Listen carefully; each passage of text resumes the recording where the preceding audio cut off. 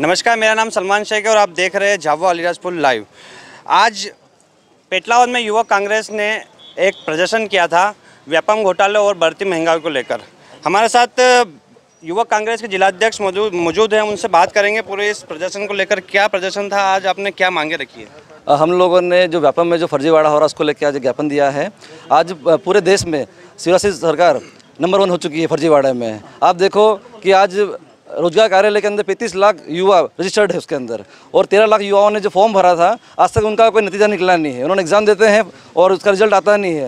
Result आता है तो फर्जीवाड़ा हो जाता है उसके अंदर। तो उसको लेकर हम लोगों ने पूरे युवाओं में आक्रोश है जो उस आक्रोश के, के लिए हम लोगों ने यहाँ पे आंदोलन छोटा सा आंदोलन अभी किया है। लेकिन इस आंदोलन को हम जिला स्तर पर भी लेके जाएँगे क्योंकि हमारे क्षेत्र के बहुत सारे युवा जिनको स्कॉलरशिप नहीं मिलती है गाँव से आके पढ़ाई करते हैं एग्ज़ाम की तैयारी करते हैं और एग्ज़ाम देने के बाद क्या होता है कि पेपर लीक हो जाता है।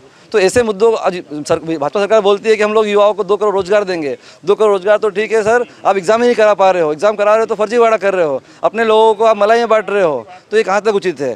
अभी भी जो व्यापक घोटाला हुआ जिसका नाम अभी इन्होंने पी भी कर दिया है इन्होंने सिर्फ़ नाम बदला है। व्यापम का। लेकिन घोटाले नहीं बदले अभी तक। अभी जो घोटाला हुआ है उसके अंदर आप देखोगे तो जो सरकार के अंदर मंत्री हैं उनके कॉलेज से ही ये पेपर लीक हो रहा है। ऐसी जानकारी आ रही है। तो अब हमारा कहना है कि जो मंत्री इसमें इन्वॉल्व है उनको सबसे पहले बर्खास्त करें आप उनका इस्तीफा लें। उसके बाद जाँच सीबीआई की जाँच की मांग करते हैं हम लोग कि जाँच सीबीआई जाँच बिठाई जाए जिसमें जो भी अधिकारी कर्मचारी इसमें जो सम्मिलित है उन सब पे बहुत कठोर कार्रवाई की जाए यही हमारी अपेक्षा है। अच्छा झाबा ज़िले में एक खेल सामग्री का घोटाला बहुत चर्चित हो रहा है अभी। आप क्या उसको लेकर प्रदर्शन करने वाले आगे? हम लोग जल्दी प्रदर्शन करेंगे, क्योंकि इसमें सीधे तौर पे जो सरकारी तंत्र है, वो पूरी तरह से पोला हो चुका है वही करप्ट है, क्योंकि ऑर्डर तो वो लोग देते हैं। झाबा का व्यापारी है बाहर का व्यापारी, वो तो धंधा करना चाहता है। धंधा कब कब करेगा तो उसको ऑर्डर मिलेगा। जो भाजपा के नेता हैं, इसमें इन्वॉल्व है पूरा। तो भाजपा से मैं अनुरोध करता हूँ कि आप पहले अपने नेताओं का इस्तीफा लें, और जाँच, तुरंत इस पर जाँच बिठाई जाए, और जो भी सरकारी कर्मचारी इसमें दोषी हैं और जो व्यापारी दोषी है, उनके ऊपर कार्रवाई की जाए। अगर कार्रवाई नहीं होती है और सबसे पहले तो मैं कहना चाहूँगा जो बीआरसी हैं और जो अपने जवान जो बैठते हैं डीपी से बैठते हैं, उनकी जाँच की जाए। क्योंकि भाई आप लोगों ने ऑर्डर निकाला है। आप लोगों ने ऑर्डर निकाला है, तभी जाके माल सप्लाई करने के लिए आया है। जब माल सप्लाई हो रहा था, आपने चेक क्यों नहीं करा?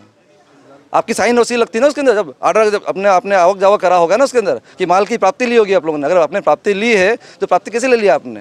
भाई अगर आपको दिख रहा है कि आधे आधे भाव का माल है ये, सस्ता माल है, घटिया माल है, क्यों आपने लिया वहाँ पे? और किसके दबाव में आपने लिया है ये? अगर किसी का दबाव है तो उसका नाम उजागर करो आप। ये किस नेता ने आपको फ़ोन लगाया किस अधिकारी ने आपको फ़ोन लगाया है? अगर जब तक जाँच नहीं होती अगर जाँच जल्द नहीं बैठती है तो हम लोग आने वाले समय में बड़ा आंदोलन करेंगे इसको लेके। अच्छा पूरे देश में आपको बताया कि वर्ष 2014 में मोदी सरकार आई थी महँगाई को लेकर। अब वापस महँगाई बढ़ रही है इसको लेकर आप क्या कहेंगे? जो कांग्रेस की गवर्नमेंट थी तो महँगाई डायर हुआ करती थी। आज भाजपा की सरकार है तो महँगाई डायर डार्लिंग हो गई इनकी। भाई इन्होंने कहा था कि हम लोग हर चीज़ के भाव कम कर देंगे। आज भाव तो आसमान छू रहे नींबू का भाव साढ़े तीन सौ रुपये किलो हो चुका है। आज आम आदमी नींबू पानी पी नहीं सकता है। जो छोटे मोटे लोग थे गर्मी में, तपती गर्मी में पानी पी के अपने आप को रिलैक्स करते थे, आज वो तो बचे ही नहीं है। आप पेट्रोल का भाव देखो अगर आदमी छोटा मोटा धंधा पानी करना है आसपास के गाँव गाँव में तो बाइक से जाता था लेके। आज तो जा नहीं सकता वहाँ पर तो पूरी तरह से कमर तोड़ दी है इन्होंने। युवा परेशान, बेरोजगार परेशान, महिला परेशान, सब तो परेशान है। महिलाओं के अपराध में देश नंबर वन पे चले गया है। हर चीज़ में मतलब देश की बर्बादी में मोदी सरकार का बहुत बड़ा हाथ है और योगदान बोला जाएगा इसको तो।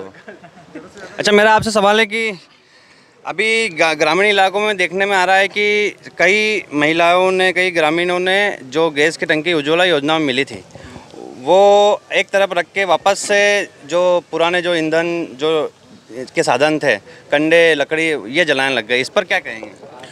अब देखो क्या करें कि सरकार तो देश की सरकार ने पहले तो लोगों को कि हम फ्री में टंकी दे रहे हैं। तो लोग तो समझे कि महिलाएँ समझे कि चलो, अपन को मोदी जी ने फ्री में दे दिया। तो कंडे और ये जो अपने अपनी भील भाषा में बोलते हैं कि जो कंडे को था उसको जमाते हैं, थापते हैं, वो तो लोग भूल गए लकड़ी काटना भूल गए सब ये। अब लोगों को ये लगा, महिलाओं को कि अब शिवराज नर, नरेंद्र मोदी की अपन को टंकी तो दे दी है पर अपन कैसे रोटी बनाए कैसे जले तो अभी इतनी महँगा पहले तो अपने मनमोहन सिंह सरकार थी तब अपन की सर साढ़े तीन सौ की टंकी थी। अब टंकी का भाव आसमान पर छू गया हज़ार बारह सौ की टंकी मिल रही है तो महिला ने तो टंकियाँ उसके ऊपर वो क्या कर दिया तोड़ के और उसके ऊपर चूल्हे बना लिया और वहीं लकड़ी लगा के जला रहे और खाना बना रहे।